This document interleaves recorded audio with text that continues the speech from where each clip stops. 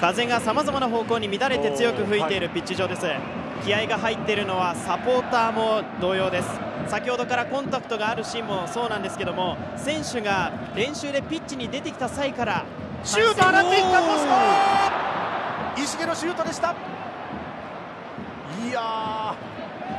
やや単発ではあるんですけれどもエスエスパルスもビッグチャンス作ってますね。いやもう前線にやっぱりですね、えー、高さとパワーのある2人を置いてますから、はい、それを十分に生かしたプレーだと思いますね。えーまあね、クリスランが競って、はい、そのセカンドボールを拾ってですね、えー、まあ石